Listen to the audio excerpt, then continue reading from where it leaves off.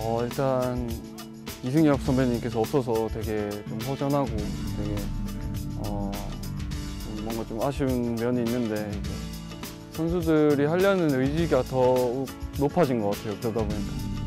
네, 그리고 다 열심히 하려고 하기 때문에 네, 팀 분위기가 너무 좋아진 것 같습니다.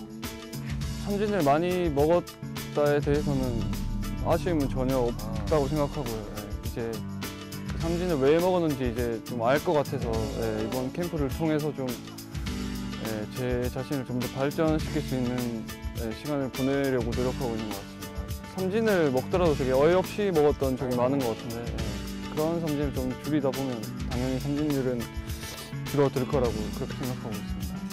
어, 뭐 없지는 않은 것 같은데 제가 또 중심 타선에서 작년에 했기 때문에 올해는 또 어떻게 될지 모르지만 또 중심 타선에 있다면 되게 어, 제가 앞에서 좀더더 악착같이 예, 투수를 상대하고 예, 팀을 위해서 좀 희생을 해야 하지 않나 그렇게 생각하고. 어, 2년 동안 되게 좀 안 좋은 성적으로 팬들한테 좀 보여줬던 것 같은데요. 예. 올 시즌만큼은 좀 더 악착같이 해서 예, 내년보다는 아 작년보다는 올해 더 좋은 성적으로 꼭 가을 있도록 열심히 하기 열심히 하겠습니다. 네, 많은 응원 부탁드리겠습니다. 네.